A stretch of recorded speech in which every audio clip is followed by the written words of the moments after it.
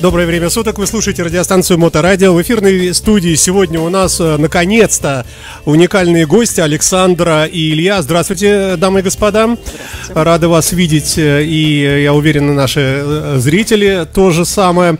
Наконец-то у нас Мото Джимхана здесь в гостях, а также многое прочее, чем вы занимаетесь, добрые люди. Александр, представьте, пожалуйста, нам Илью, лауреат многочисленных премий. Конечно, обязательно. Илья э, очень много лет занимается организацией тренировок по мотоджимхане в Санкт-Петербурге. Вот. И, собственно, заслуга организации нашей группы – это именно его. И на данный момент он э, один из да, основных инструкторов, который, в принципе, постоянно ведет тренировки и прокачивает наших мотоциклистов. То есть всех, он знает, всех, кто приезжает. как сцепление выжимать, как вот эти ну, вот... Он еще и действующий мотоинструктор в мотошколе, поэтому угу. свободное от работы время, от основной работы, да, еще и занимается всеми желающими на площадке. Илья, представьте нам Александру, все-таки культовая женщина, так, да. Александра Петелина, э, спортсменка по мотоджимхане класса С2. Сейчас а, будет долго возмущаться, но на данный момент, после ухода основной конкурентки, быстрейшая девушка России. Серьезно? Да, в мотоджимхане, а, соответственно, все присутствующие на площадке могут увидеть, как она жестко тренируется, ни в чем не отставая от парней. И плюс, а, собственно, да, сейчас фактически второй человек, наверное, в мотоджимхане. В России, давайте добавим так. Ну, в России, нет, в России в целом, я имею в виду в Питере именно в организации вот тренировок э, вместе. И что еще а интересно? По России меня знают, да. Да, знают по России любят. все да, знают, да, да. знают, любят. Скажите, господа и дамы, а, а вот Джимхана как таковая, для тех, кто не знает, такие есть, я тоже не очень знаю, это э, что вообще за такой способ времяпровождения? Ну, смотрите, а, Джимхана, мы ее делим условно на, гражданскую и спортивную. Изначально спортивная Джимхана пошла из Японии.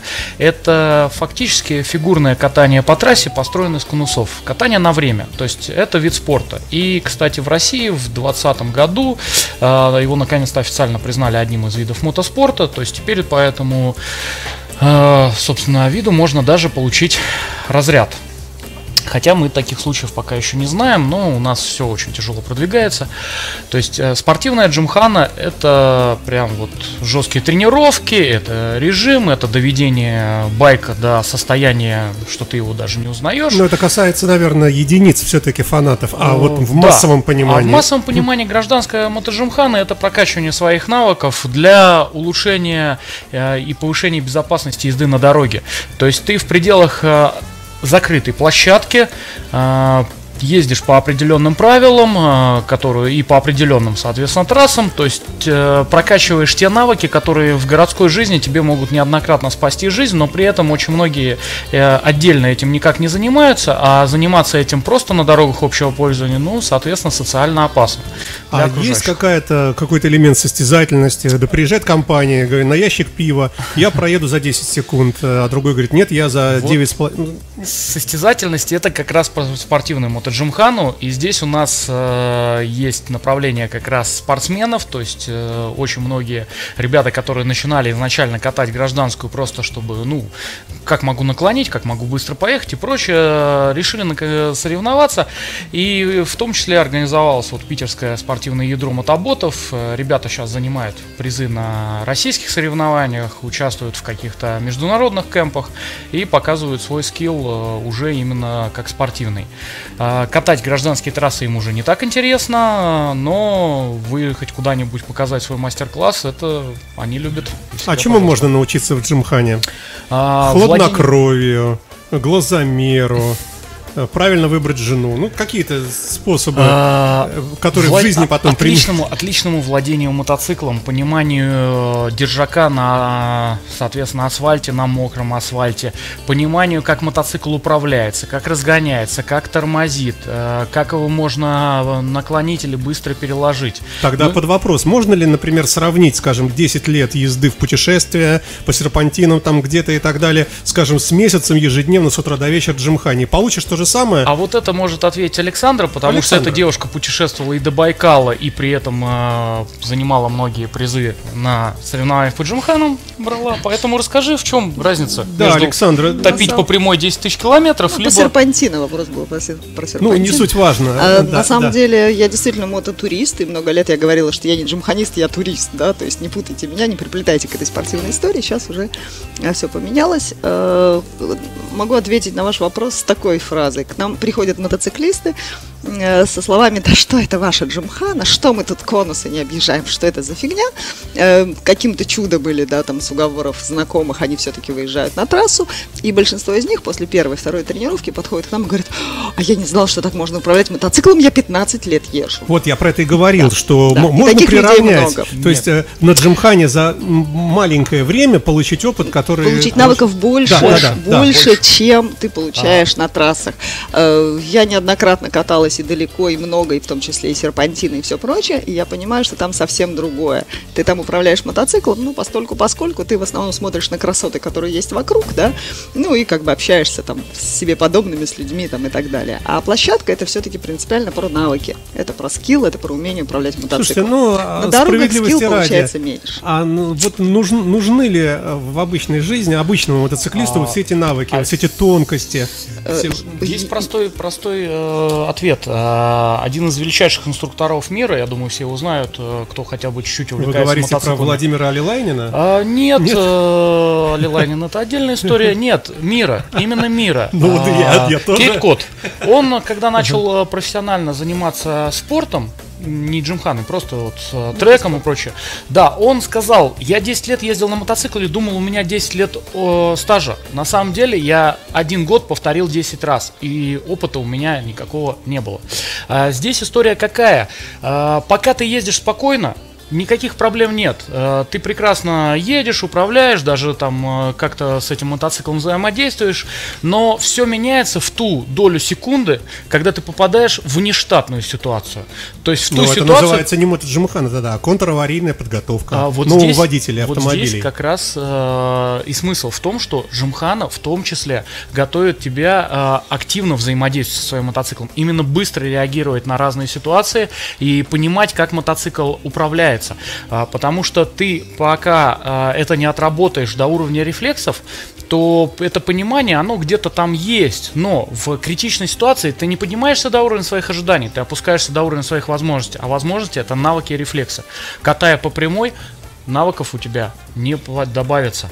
То есть ты будешь знать, что да, там контруление какое-то есть, вот там толкнул ручку, куда-то поехал. Но в экстренной ситуации, если ты это не тренировал, ты что сделаешь? Ты попытаешься от опасности отвернуть. А некоторые даже бросают руль и плачут. Э, да. Ну, э, А мы сегодня говорим о мотоджимхане, о ее пользе. э, И вообще вы организовываете вот эти самые мотоджимханы э, в формате в каком?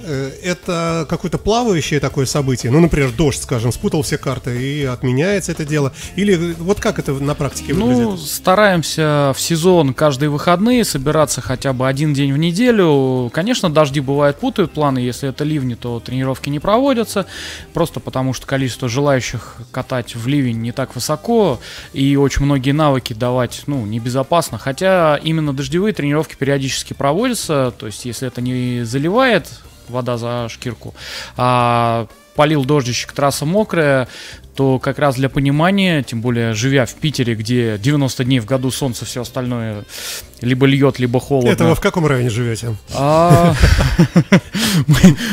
Да, извините, ладно, продолжайте. Это в районе северо-запада, любом, да. в любом. Вот, то тренировки по дождю тоже проводятся, просто когда не сильно много льет. А, Так вот, примерно с конца апреля по середину октября мы каждую неделю на площадке. А Иногда по несколько раз. А площадка где? Или в разных местах? У нас группа мотоботы «Север». Э, Соответственно, мы изначально начинали тренировки на севере города. И сейчас продолжаем. Основная наша площадка на севере города. Это где? Это Юлмар, Муринская дорога, сразу за КАДом. Пискаревка выходит э, закат, и за- там здание Юлмарта. Да. Юлмарт нас приютил несколько Его видно лет с кольцевой, назад. здоровый Совершенно верно, такой, да. Совершенно Мгм. верно. Ну, это видно всем, мотоцик- всем автомобилистам, которые А, стоят в пробках. Вы проезжаете мимо Харли Дэвидсона на Пискаревский, да? Да. Вот. Да, И туда. да. И едем еще туда, дальше к- еще К километр. чертовой бабушке, вот в том Плюс направлении. километр к чертовой бабушке. Это наша постоянная площадка, постоянная локация. Вот. И сейчас, несмотря на то, что Юлбарт уже сам не функционирует, мы все равно у них живем. Им за это большое спасибо. Э, И там собирается до 150 человек на тренировке.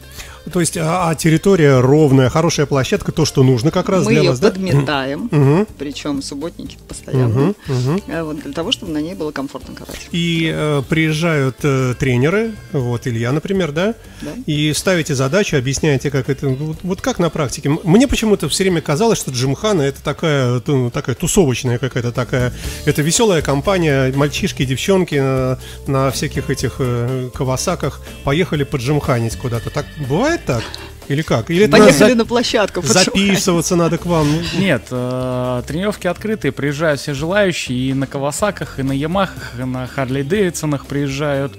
Э, мы никого... А вы стоите на входе и говорите, 5 Нет, тысяч рублей нет, въезд. э, у нас Тренировки э, бесплатные. тренировки бесплатные, Да. в этом огромный плюс, потому что очень многие люди, естественно, не готовы платить даже за свое обучение и безопасность.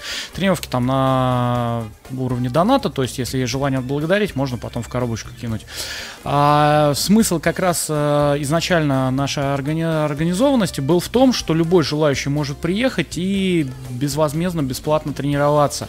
Потому что то, что выпускают наши мотошколы, ну, назвать э, участником дорожного движения очень сложно. Э, очень многие мотошколы не дают достаточных Вы навыков. знаете, вот по- поразительный момент я бы отметил. У нас многие мотошколы в гостях бывают, мы не всех любим, всех уважаем. Все говорят примерно, э, Да. примерно следующее. Все говорят так, что вот все остальные школы, кроме нашей, вот они учат только чтобы сдать, а мы еще даем навыки, как... а все остальные вот не х- приходит другая мотошкола и говорит Конечно. про остальных, включая предыдущую, что Вот. они только для прав, а на самом деле... А, Ну, к сожалению, так действительно есть. И есть очень много а, даже учеников, которые, приходя в мотошколу, говорят, я права получу, а потом, может быть, где-нибудь научусь. Или мне пусть будет категория открыта, а куплю, не куплю, не знаю. И через пару-тройку лет вспоминают, что у них категория-то открыта. Да, они не учились, они сдали только на права. Но он идет спокойненько в магазин или на сайт объявлений и покупает себе литр полтора литра, не имея никаких навыков, ничего. А надо понимать, что мотоцикл это все-таки не машина, и количество навыков и для своей безопасности, для безопасности окружающих ну, да, нужно чуть больше, чем даже на той же машине. Ну, почему вы отмечаете литр, полтора? Э, Это как-то повышенная опасность? А, да, естественно, когда ты берешь, а, не умея водить а, более слабый мотоцикл, он тебя все равно как-то немножко ограничивает. Ты не можешь его за 3 секунды разогнать до 100 км в Вот час. у нас, смотрите, в студии стоит Ява, Ява, прекрасная, шикарная да? Ява. С одним цилиндром всего, одна свечечка. Вот, вот, это подойдет для неопытного? Ну, для неопытного нет, потому что он его будет больше ремонтировать, чем на нем ездить. э, Может, с этого и надо начинать? Так и а, начинали раньше. Ну да. Так раньше начинали, сейчас нет. Сейчас ты можешь пойти купить э, в непонятном техническом состоянии мотоцикл, и очень многие, опять же, не следят за техническим состоянием своих мотоциклов. Но при этом это будет мощный, старый, без каких-то систем безопасности мотоцикл, и нет никаких сложностей выехать напрямую, открыть ручку газа и ехать 100, 200, там даже 300 некоторые мотоциклы уверенно едут. Проблема начинается, когда человеку надо повернуть или затормозить, и вот здесь вот он понимает, что его навыков-то, ну, если успевает понять, что его навыков не хватает. А бывает так, что на Джимхану приезжает такой красивый, розовощекий, веселый, а выходит бледный, э, трясущийся, и говорит, я же мог убиться миллион раз, я вот сейчас это понял. Бывает, бывает. И не раз, и не два. И не раз, и не два. И как раз такие люди э, приезжают на тренировку раз за разом.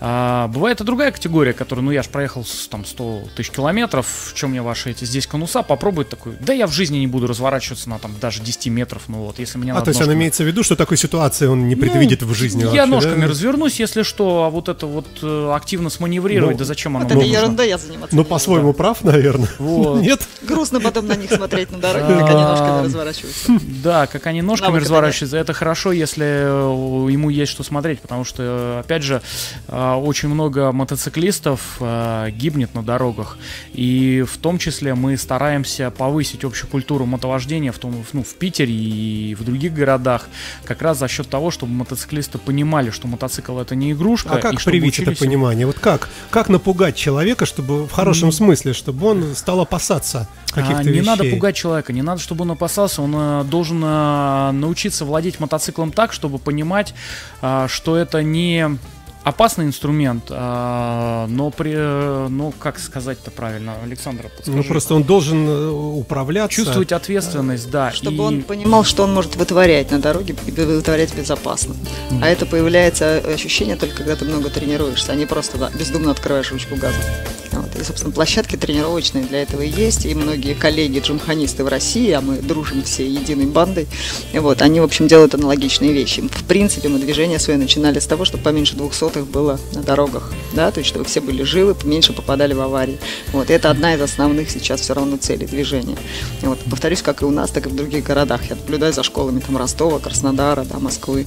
Вот. Все джимханисты, в принципе, с такой же логикой, да, и занимаются такими вещами.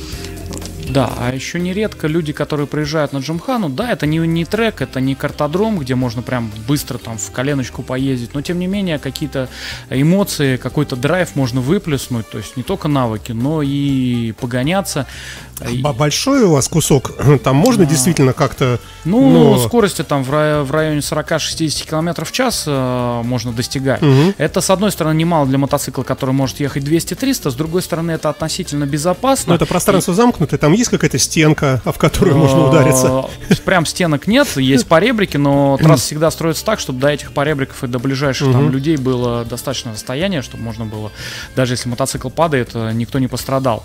А, и вот здесь люди нередко приезжают именно за эмоциями, за тем, что допы без риска не дают. То есть дороги общего пользования, когда ты начинаешь ехать агрессивно, могут тебя жестко наказать.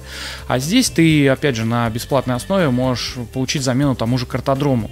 И с удовольствием погоняться с коллегами, да. потому что нередко а бывают можно... действительно гонки на трассе, то есть выставляются специально отдельно быстрые флаги, и народ гоняется друг за другом, с большим удовольствием выезжают спортсмены. И это а можно вселить в человека комплекс неполноценности, ну, в девушку в какую-нибудь какой-нибудь, и э, дать понять человеку, что он вообще ну, просто вот практически ничего не умеет, и его надо гнать поганой метлой из мотоциклизма. Ни в, ни в коем случае. Просто люди человек, будут уезжать расстроенные. А, человек, человек а, ну, его нужно научить. То есть, если он а, умный, то он понимает, что у него что-то не получается, и он хочет обучиться.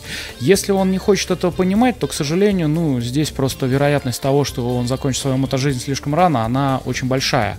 А именно как-то заставлять человека комплексовать, в этом нет никакого смысла, потому что наоборот, когда человек раскрывается, понимает, что вот он может лучше, быстрее, точнее работать мотоциклом, а, ему это интересно, его увлекает мотоцикл. За, а, как как-то зашемить, э, то есть там, не знаю, обидеть человека, чтобы он такой, все, я точно мотоциклом заниматься не буду, э, да такого нет. Э, ну и смысла в этом нет, потому что, э, ну, он просто не приедет, но будет продолжать дальше ездить небезопасно.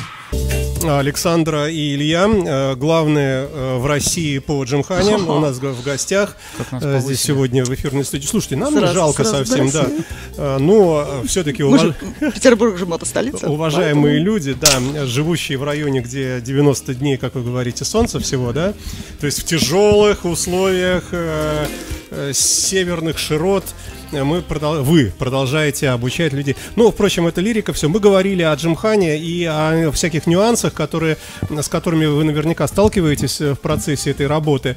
Бывает, я уже спрашивал вас, бывает, что люди расстраиваются, они понимают, что они ни одного упражнения сделать не могут. И э, вот я начал говорить про комплекс, э, я просто сам на себя трансполирую. Я думаю, что я бы, наверное, тоже бы расстроился, если бы мне вдруг объяснили, что вот вокруг меня все порхают и делают фуэте, а один я как идиот, я даже ногу поднять не могу, ну, я условно говорю, в сравнении с остальными. И я понимаю, что жизнь не удалась. Я зачем-то купил эту железяку. Я вот умею ее заводить, и все. И, и меня надо гнать поганой метлой из, из мотоциклизма. И, и тоже ведь можно же поранить психику этим. Ну, последняя ну, тренировка у нас была вчера. Так. И, соответственно, как раз вчера на тренировку пришли ребята, которые были первый раз, там было несколько человек. Э, и как раз ребята, выехавшие, да, первый раз на трассу, после этой трассы, в общем, страдали. То есть специально для новичков у нас есть зеленый флаг, ну, светофор, да, зеленый, угу. желтый, красный. А на зеленый флаг выезжают обычно самые медленные райдеры, и после этого я видела печаль в их глазах. Вот, потому что они говорю. ездили, им было печально. Но на этот случай мы дежурим на трассе. То есть мы выдергиваем тех, кто явно страдает там, угу. да, у кого что-то не получается, и говорим, а вот зачем ты делаешь вот так, да, вот почему? А как надо, ты знаешь, да? А вот сделай вот так. А знают, То есть даем надо? советы. Или не На знают? самом деле специально спрашиваем, потому что многие не знают, как надо.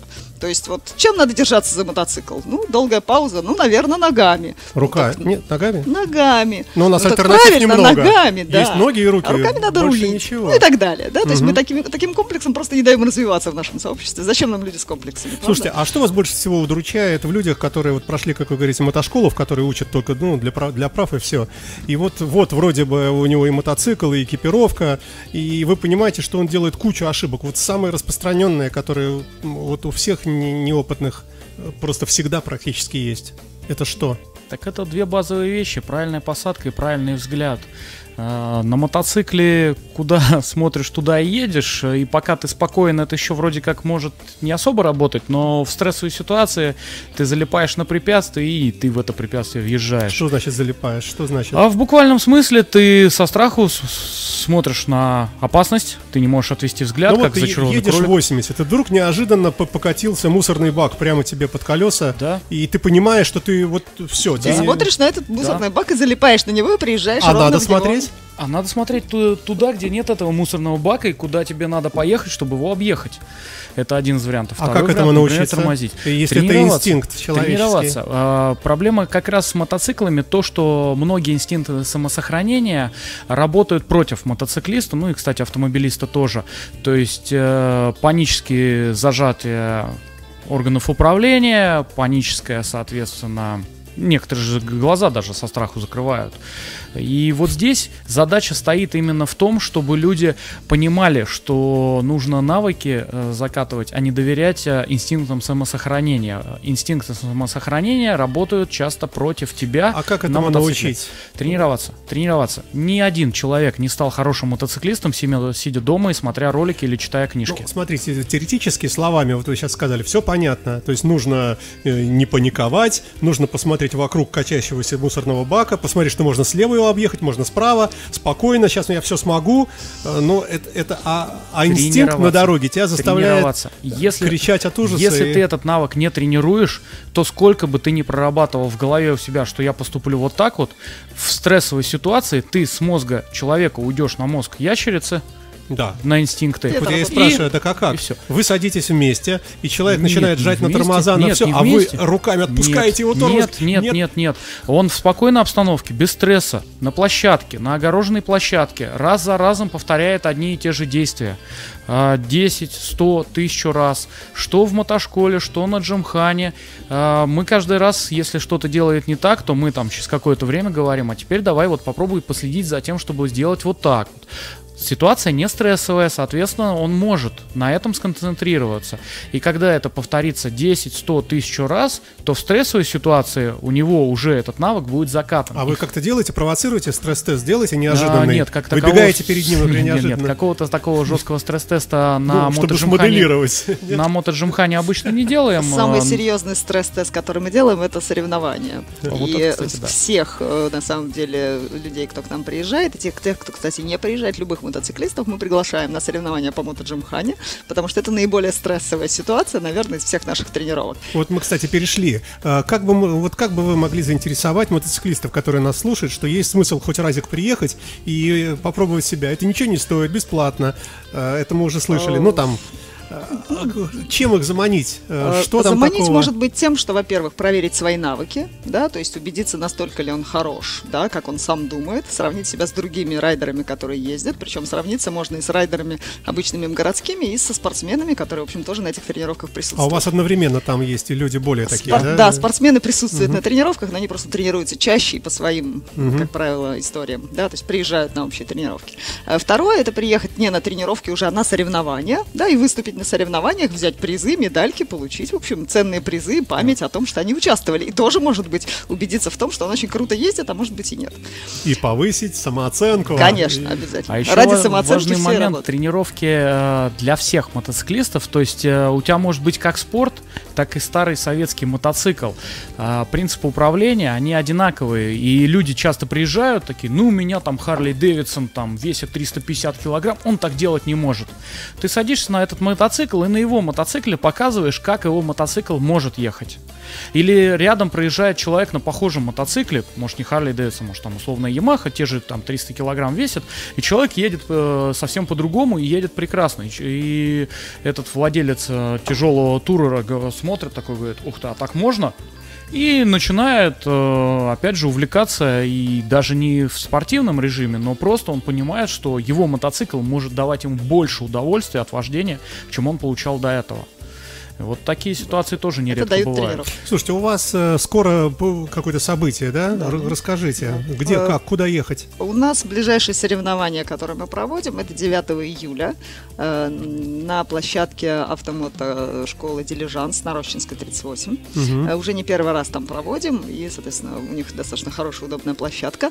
Райдеры съезжаются со всей России, то есть будут и про-райдеры там из Москвы, и, я надеюсь, с юга э, вот к нам приедут. И плюс, естественно, участвуют все наши, кто приезжает к нам на тренировки, потому что ребята заинтересованы, спрашивают, им это интересно. И те, кто в прошлом году участвовал, с удовольствием об этом вспоминают. А можно поучаствовать и не обязательно предъявлять диплом о том, не что... Не надо никаких там, дипломов, это абсолютно свободное, открытое мероприятие, никаких нужно, мероприятий. Да? Причем категория А и страховка на мотоцикл. Э, совершенно верно, при этом э, даже награждение идет в разных категориях для того, чтобы новички не соревновались с спортсменами. То есть отдельный класс новички, любители, спортсмены угу. и профессионалы. Про. И даже отдельный класс для Круиз... девушек и, и, и для круизеров, потому что круизеры большие, тяжелые, менее поворотливые, естественно, чем маленькие юркие мотоциклы, но их права никто не ущемляет, и они соревнуются, друг с другом и со всеми, и друг с другом в том числе.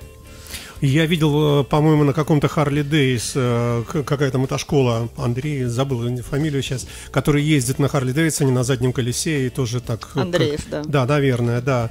Тоже впечатляет, действительно, когда большая такая штуковина. Вот, ладно, маленький, вот как наша Ява. Это маленький вообще считается? Ну, довольно, да. Довольно маленький. Ну, Карли Дэвидсон умеет ездить не только задним колесе, он умеет еще разворачиваться в очень ограниченном пространстве, крутиться вокруг одной фишечки только, только в путь. Слушайте, а девушки принимают участие тоже в этих покатушках джимхановских с удовольствием? Конечно. А вообще девушки бывают азартные? Ну вот на меня посмотрите. Ну, я очень азартная. Ну, вы девушка культовая, а вот обычные девушки. Бывает так, что, очень. что иногда даже больше, чем мальчишки, прямо да. вот совсем заботятся и да. так... А! А, чтобы вы понимали, в прошлом году мы проводили соревнования, и там победила девушка из Москвы. Она сделала всех, включая... Да, в абсолюте. То есть не и, просто и в мальчишек, классе, да. сделала и мальчишек, и в том числе э, двух действующих, э, точнее одного действующего, одного вице-чемпиона э, России. Вот. Объ... объехала, да. да, всех, стояла на подиуме на высшей ступеньке. Поэтому это Джимхана как спорт, э, в принципе, самый бюджетный мотоспорт э, вообще доступный э, кому-то. То есть тебе для этого не нужно не сильно корчевать мотоцикл, не нужно покупать, арендовать треки, тебе не нужно практически ничего. Десяток фишек – стандартная экипировка и защита мотоцикла, потому что падения действительно случаются. Но, э, естественно, если ты хочешь добиваться успехов на общероссийской, на мировой арене именно в про-классе, тогда уже там, да, там, как и в любом спорте, начинаются расходы на тюнинг, на все остальное. Но вот чтобы заниматься этим на любительском и полуспортивном уровне, это минимальные расходы и максимальная соотношение потраченных денег и полученного удовольствия от результата. Слушайте, вот э, Джимхану, которую вы организовываете, ее можно как-то ранжировать, э, сказать, что она, например, ну такой хороший middle класс а есть еще high-класс какой-нибудь, а есть как раз low, есть начальная, и вообще Джимхан у нас в городе штук 20, и вы из них самые крутые, или наоборот средние какие-то, и вообще Джимхан, Джимхане. У нас в городе э, Джимханы э, занимаются всего на двух площадках, это в Стрельне и, собственно, у Юлмарта. Э, мы организовались изначально, потому что нам далеко было ездить в Стрельну, мы сначала как спортсмены начали тренировать у Юлмарта, а потом уже начали проводить общие тренировки, потому что количество желающих, кому также тяжело далеко далеко ездить в Стрельну стало слишком большим, ну и мы решили, что будем проводить открытые тренировки.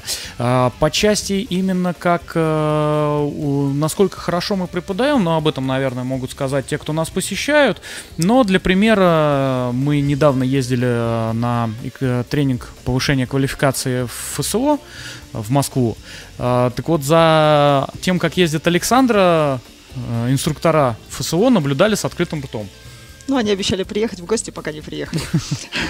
Вы имеете в виду ФСО, это да. федеральная, федеральная служба, служба охраны президента да, Российской да. Федерации первых лиц. У них есть своя автомотошкола, проводят, э, соответственно, тренинги, тренинги для повышения квалификации э, мотоциклистов. И вот э, буквально месяц назад Александра задавала там жару. Немножко. Что касается преподавания джимханы в Питере, я неоднократно каталась по России, по другим городам. Естественно, мы у нас содружество джимханистов очень тесное, мы очень хорошо общаемся и на расстоянии. И я знаю очень немного школ в России, которые преподают э, на нашем уровне или лучше. Ну, то есть мы, я считаю, даже не middle класс, а выше middle класса. По крайней мере, по количеству людей, которые мы собираем, у нас очень хороший уровень Слушайте, преподавания ну, и, соответственно, вообще комьюнити. Приоткройте секрет. Есть, наверное, какой-то стандартный набор э, каких-то упражнений Конечно. На, на площадке, да? Конечно. Вот вы говорите, расставляем вот эти вот полиэтиленовые вот эти вот э, конусы, да? Да. А что делать? Э, задним ходом въезжать в гараж? Э, Нет. Что? Э, тренировки на самом деле у нас проводятся двух видов. Э, первая тренировка это общая тренировка, как раз для всех желающих, которые приезжают. Второй вид тренировок это спортивные тренировки, которые уже отдельно проводят спортсмены, да, которые вот хотят участвовать в соревнованиях. Общая тренировка, она нацелена на достаточно такой фановый эффект, э, она представляет из себя круговую трассу. То есть мы каждый раз берем сотню, пол, полторы сотни фишек, выдумываем и ставим интересную трассу, и э, трасса круговая, на ней может одновременно кататься там 30-50 человек. И народ катается по этой трассе, стараясь с каждым разом проехать лучше и лучше. Да, но при этом... Не, не понимаю. На, при этом на трассе есть а, хоровод, красные участки, а, есть учат, участки с активным рулением, участки с медленными разворотами. Ну, подождите, если мы говорим как о виде спорта, да, который в разных городах mm-hmm. имеет место быть, то, наверное, должны быть какие-то... Спорт — это спортивные тренировки, это вторая часть, Хорошо, да. какие-то стандартные упражнения для всех общепринятые в мире для джимхана. Конечно. Какая-нибудь там восьмерка. Это вращение, восьмерка Восьмерка, змейка, это вращение на 360 и 720 градусов. Это... Подождите, 720 градусов не существует в природе? Кру- круги вокруг. А у вас есть, да? Два круга. Круги, два круга вокруг одной фишки, а. например. Ну, то есть вращение на одном месте. Нам за минимальное ну, время. не представить воображение, но 360 это один круг, 720 да. это второй круг. То есть ты именно едешь или ты Вращаешься, удерживаешь, удерживаешь мотоцикл во вращении вокруг одной фишки. Ну, не важно, да, не, не будем занимать Естественно, время, да, змейки, да. восьмерки, развороты, да, это стандартный набор джимханы. И в разных комбинациях они тренируются, и спортсмены в том числе отрабатывают именно их, да, в спортивных тренировках. То есть ставят себе какие-то фигуры, да, которые нужны на данном этапе, и отрабатывают их, доводят до, до совершенства, доводят до идеала. А, в эфирной студии Александра, как я понимаю, а, Илья, расскажите, я так подозреваю, что эта женщина непростая очень, она великая. Ну, судя по тому, что ФСОшников повергает в уныние, да? Расскажите нам немножко поподробнее, что это за удивительный гость у нас сегодня, а то мы как-то скомкали это дело немножко, Гусей не было. В истории гусей не было. не знаю, с чего начать. Э, в принципе, первый раз мы пересеклись э, в Казани на международном кемпе, то есть тренировочном лагере для спортсменов. Туда со всей России собирались и приехали чемпионы, в том числе чемпион мира с Японии преподавал. Александра залетела туда на спортивный спортивном туристическом мотоцикле где-то по дороге из Казахстана. Я вот. возвращалась в Санкт-Петербург, да, из по- туристической поездки. Вот. А, и дальше она, к тому времени ее в Джимхана мире особо никто не знал, то есть она была такой... Так и не было меня там. Путешественницей. А начиная где-то с 19 а вот как раз кэмп был в 19 году, и вот, судя по всему, ее торкнуло, она начала заниматься. И уже в 2020 году стала одним из наших спортсменов, причем тренила сильно больше парней, потому что в ее случае получается, чтобы быть лучше, надо тренироваться больше. Вот. Это вы сейчас на скользкую дорожку вступили. У нас сейчас в мире гендерные правила а, одинаковые. Это ее, скажем так, слова. Тогда она вступила на скользкую дорожку. Да, и с 21 года получилось так, что... Гендерным очень спокойно а в 21 получилось вот это там а, отголоски пандемии, плюс я очень много стал времени проводить на работе, и мне нужны были, ну, кто-то, кто-то, кто может меня на площадке подменять и прочее. А Александра, поскольку на площадке как спортсмен жила, то смогла и перехватить управление, в том числе гражданскими а, тренировками. Она строгий преподаватель, может подзатыльник дать, а, пенделя, там, если что. Ну, пока не наблюдалось. Пока не наблюдалось. Ученики, вроде, но... ученики способные. Ну, Зачем да. пендель-то сразу? Вот, да, ученики способные. Ну и вот с этого года фактически, да, вдвоем, получается, ведем а, вот эти вот тренировки уже совместно. А есть люди, которые приезжают и говорят, э, покажите нам Александру, вы говорите, я Илья, я главный, они нет, слушайте, отойдите в а, сторону. у нас Покажите нет, нам. У нас мы нет хотим главных, но после тренировки в основном все благодарят Александру, потому что сейчас она брюнетка, а раньше была блондинкой, прям блондинка, заметная, активно ты сама тренит, все. А я там где-то на заднем плане что-то, ну подумаешь, кому-то объяснил что-то, вот, или там конусы раскидал. Ревнует. Ревнует. Ну, дело такое, да, понятное. Так я так понимаю, что вот э, вы, как э, организация Джимхана в Петербурге, наверное, такие самые тут у нас, да, получается? Ну, самый, на, на, самый высокий уровень? Да, мы как-то так не считаем, высокий, невысокий. Опять же, про то, где лучше, хуже, могут сказать или сделать вывод для себя люди, которые приезжают к нам, приезжают в Стрельну, ну или если где-нибудь у нас еще конкуренты появятся в Питере. А вообще где можно джимхан устроить? Я могу джимхан устроить сам из себя одного в гараже конечно. себя? Ну, в гараже вряд ли, нужно хоть какое-то, какая-то площадка, где можно как-то тренироваться. А так, конечно, можно приехать, э, поставить пару конусов или нет конусов, можно просто разрезать пополам теннисный мячик, поставить эти мячики и тренироваться вокруг них. То есть э, самое важное, нужно тренироваться, нужно прокачивать свои навыки. То есть не, не просто не важно я, где. Да, неважно где, неважно с кем. Э, но опять же наличие внешнего наблюдателя опытного, оно позволяет сильно сократить путь э, и закатать правильные навыки, потому что тренируясь в одиночку, можно все-таки закатать и неправильные навыки, даже не понимая этого. И очень многие э, ездят и не понимают, что они ездят э, неправильно, но при этом даже могут ездить довольно быстро. Э, когда их перестраиваешь, что они улучшают и свои результаты, и приезжают, прям говорят, что слушайте, я так никогда не ездил, я сейчас прям могу спокойно э, даже куда-то там отвлечься, а не вцепившись в руль, смотреть только прямо. Слушайте, а вот этот процесс объяснения э, э, физики какого-то маневра или какого-то навыка, э, как тут не переборщить? Потому что начинаешь говорить много, у нас много было здесь гостей в студии, но когда mm-hmm. тебе говорят, что вот, например, усилие поворота руля зависит от того, с какой силой ты вцепился в этот руль, full. И нужно расслабить бицепсы, трицепсы и дальше идут термины, и я вдруг начинаю понимать, что с какого-то момента я уже перестаю поплыл, понимать. Поплыл. Да, да, да, да, да, да, да. И я могу просто, ну, кивать там из вежливости, но про себя сказать, ну нафиг, там вообще, это как вот программиста слушать, знаете, да? Да, а для этого как раз и есть смысл, что мы не просто объяснили, и иди, мальчик, тренируйся, мы наблюдаем, чтобы человек делал, и у него получалось. А, опять же, сильно длинного объяснения не нужно, человеку не нужно знать, что свет преломляет справляется с таким-то там этим. Ему нужно просто, о, я посмотрел на в зеркало и увидел свое отражение. Также условно здесь сделай то-то и получишь такой результат. Если не получишь, давай разбираться, что ты сделал не так. Причем мы говорим, не надо даже безоговорочно доверять а, мне или кому-то еще.